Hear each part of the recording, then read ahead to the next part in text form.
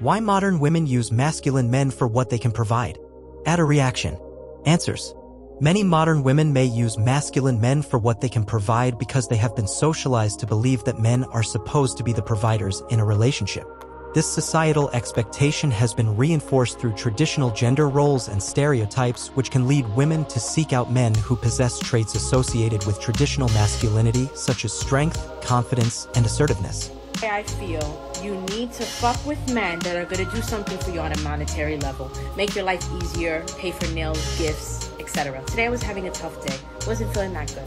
I looked down at my wrist. Okay, a man bought me this watch. I looked down at it and I was like, oh, like this is shiny and there's diamonds on it, and I deserve diamonds, and it made me feel better. You know what I'm saying? Like I like my watch. The same gentleman bought me a designer handbag. Every time I wear that bag, I love it. I get compliments on that bag. You understand? That does not equate to a man telling you on a rough day. Oh, that sucks that you're having a rough day. What the f- do for me? Especially coming out of a man's mouth. Because you know everything that a man that comes out of a man's mouth is utter fucking trash and garbage and it doesn't mean anything. Do something for me. Okay? Make my life easier. Additionally, some women may seek out masculine men for what they can provide because they are looking for stability, security, and protection.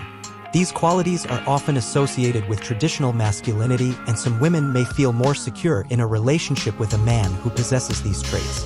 It's important to note that not all women seek out masculine men for what they can provide and there are many different factors that can influence a person's romantic preferences.